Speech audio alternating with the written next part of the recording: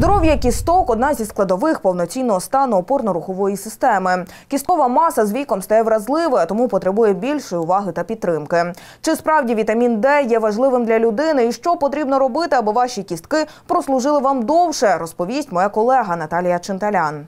Кістковий мозок та кістки грають визначальну роль у правильному формуванні та розвитку організму. Понад 200 кісток знаходяться в тілі людини, які виконують три важливі функції в організмі, а саме рухову, опорну та захисну. Відомий факт, що кістки ростуть до 25 років, а весь цей процес контролюється мозком та регулюється гормоном росту соматотропіном. Та головним елементом, який забезпечує молодість та повноцінне здоров'я кісток, є колаген. Загальна частка колагену складає приблизно 80-90% від маси шкіри, якщо не брати до уваги воду. Він утворює 3D-сітку структур в дермі, що забезпечують тонус, еластичність, міцність та пружність нашої шкіри. Проте з віком вироблення колагену знижується до 75%. Хвилюватися немає причин. Рівень колагену можна підтримувати. Існує декілька способів зміцнити здоров'я своїх кісток. Серед них правильне харчування, підтримка тонусу свого тіла, періодично навантажуючи та тренуючи і м'язи і кістки. Один із найдієвіших методів сонячні ванни. Вітамін Д, який виділяється під час цього процесу, допомагає краще засвоювати кальцій в організмі. Хорошим джерелом кальцію є і яйця. Також вживання їх рекомендую для тих, хто слідкує за своєю фігурою.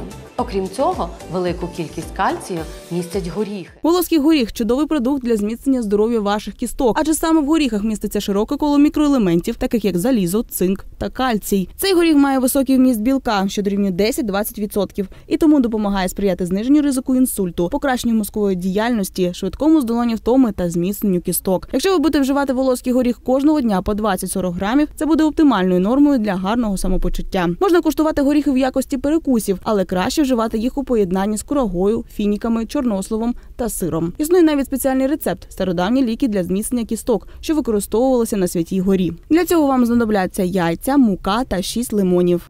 И держим над огнем несколько минут, постоянно помешивая и встряхивая. Этим мы убиваем все микробы на скорлупе. А следующий этап нам нужно перемолоть скорлупки. А Раньше использовалась ступа для этого, а сейчас удобнее использовать кофемолку, потому что скорлупки нам нужно перемолоть прямо в муку. Яйцева скорлупа це пряме джерело кальцію, який легко засвоюється організмом людини. Вона сприяє швидкому росту та правильному розвитку скелета, а також зміцнює опорну рухову систему. Ще одним максимально корисним методом укріплення кісткової маси організму стануть регулярні навантаження.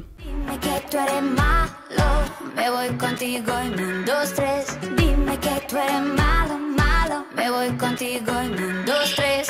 Ay, ay, ay, a mí me gusta peligroso.